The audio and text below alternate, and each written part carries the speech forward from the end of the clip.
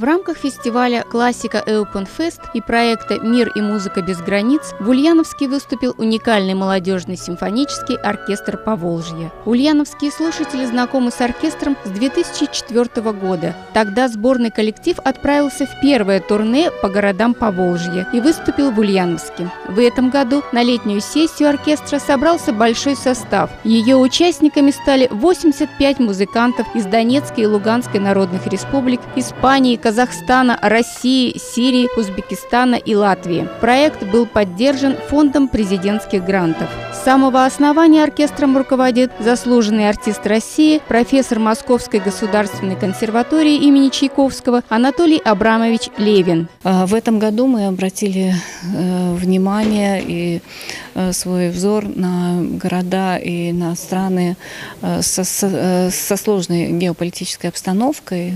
Короче, на странах, где идет война. Это Луганск, Донецк и Дамаск, Сирия.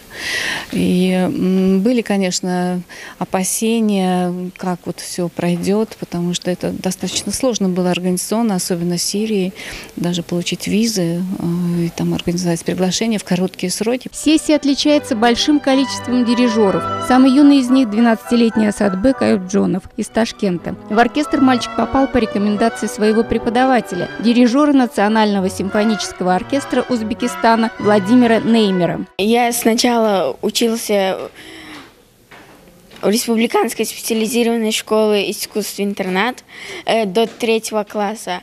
А в первом классе уч моя учительница по скрипке Галия Рашидовна привела э, к моему педагогу, профессору э, Государственной консерватории Узбекистана Владимиру Борисовичу Неймеру.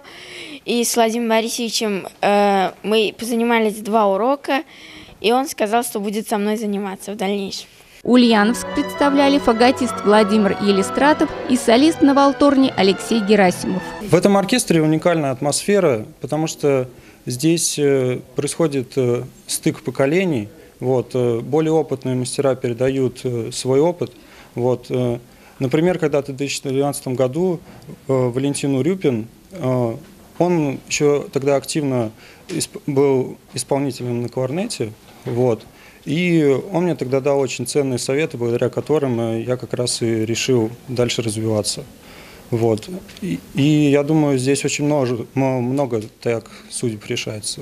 На Ульяновской сцене молодые музыканты исполнили шедевры музыкального искусства, произведения Штрауса, Глинки, Чайковского, Прокофьева, а также симфоническую сюиту «Посвящение знамя надежды». Это результат совместной работы сирийского автора Мазана Иссы и российского исполнителя, композитора и дирижера Николая Манагадзе. Ирина Антонова, Руслан Баталов. Новости Ульяновской правды.